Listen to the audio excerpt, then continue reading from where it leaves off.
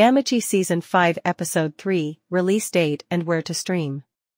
According to the official website and social media channels for the anime, Danmachi Season 5 Episode 3 is set to premiere on Thursday, October 17, 2024, at 10 p.m. Japan Standard Time on ABEMA Premium.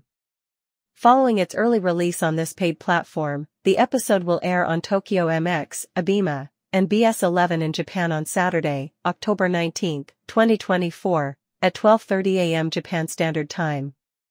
As stated, Japanese viewers can access Danmachi Season 5 Episode 3 on ABEMA Premium prior to its television broadcast. Internationally, fans can also stream it on HIDIVE, with similar timing, and watch it on Bilibili Global, Aniplus TV, Laftel, and other platforms in select regions.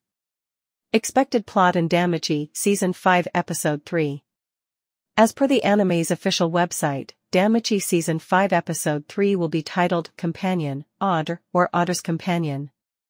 The episode is expected to continue Bell and Syr's date, focusing on Bell's response to Syr's request for freedom.